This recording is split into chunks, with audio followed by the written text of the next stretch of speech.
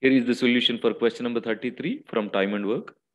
Three men and six women can complete the job in six days, whereas 10 men and 15 women take two days to complete the same task. Since uh, the task is same, I can equate. By the way, what did I apply here?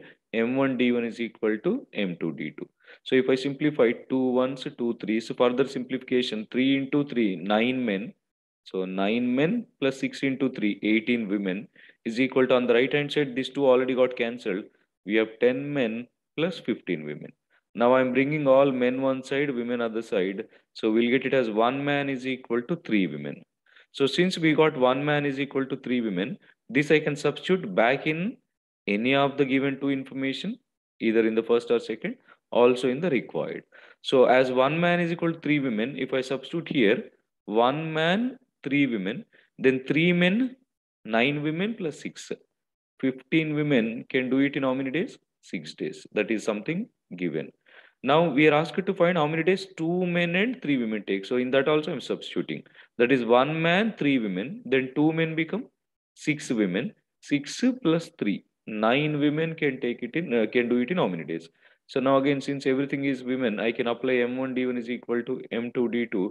That is 15 women, six days. Six women, how many days? Right? Six, six get cancelled. We'll get it as 15 days. right? Yeah, I think uh, something went wrong. Two men and three women, five times. It should be 10. So if I substitute here, one man, three, so three to three, nine plus six women, 15 women, six days. And if I substitute in the required, sorry, this is nine women.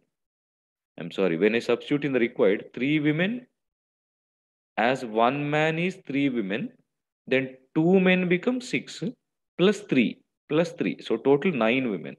So total nine. 15 6 are 90, 9 10s are 90. So answer 10, not 15. Answer 10. That is option 2. Sorry for the calculation error.